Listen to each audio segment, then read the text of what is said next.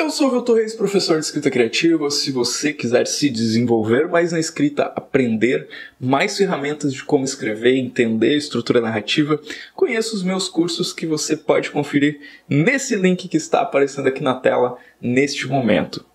Hoje nós vamos falar sobre o que Hemingway, Ernest Hemingway, escritor, prêmio Nobel de literatura, queria dizer com mostre, não conte, sua famosa frase, né? Mas o que de acho essa frase quer dizer? Até você conseguir aplicar isso na escrita, eu diria que você ainda não entendeu. Porque se você entendeu, você provavelmente vai querer aplicar na sua escrita.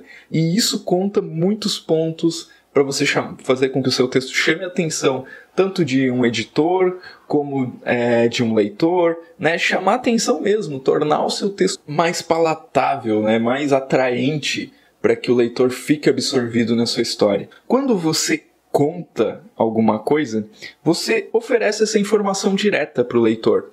E você tolhe um pouco da capacidade ou da possibilidade do leitor poder imaginar, poder completar, poder interpretar aquela cena, aquela informação.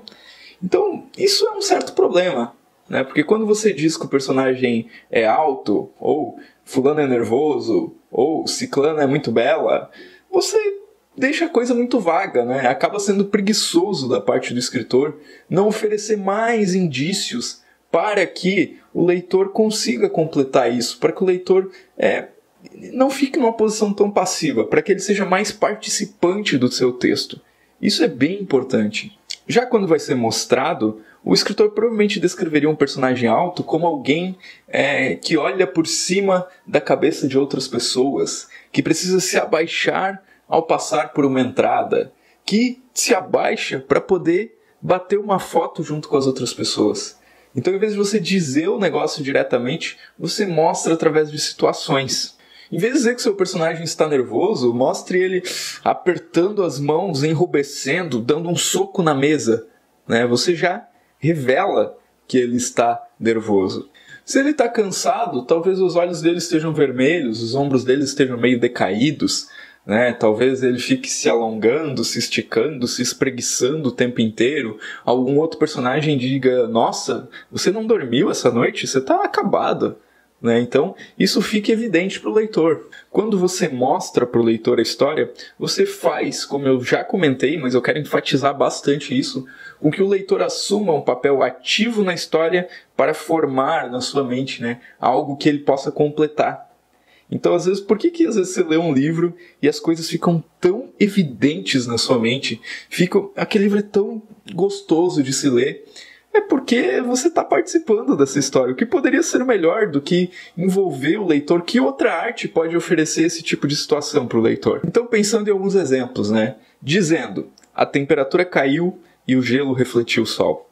Mostrando, o nariz de Joel queimou com ar frio e ele apertou os olhos contra o sol refletindo na rua dizendo: Juliana era cega, mostrando: Juliana apalpou o banco com uma bengala branca. Dizendo: Ela era encanadora e perguntou onde ficava o banheiro. Mostrando: Ela usava macacão e carregava uma caixa de ferramentas de metal. Chaves inglesas de vários tamanhos se penduravam em um cinto de couro em volta de sua cintura. Onde é o vazamento? perguntou. Então eu nunca devo contar nada? Você deve estar se perguntando. Não, não é bem assim. Existem momentos em que você vai fazer algo que se chama na literatura de sumário.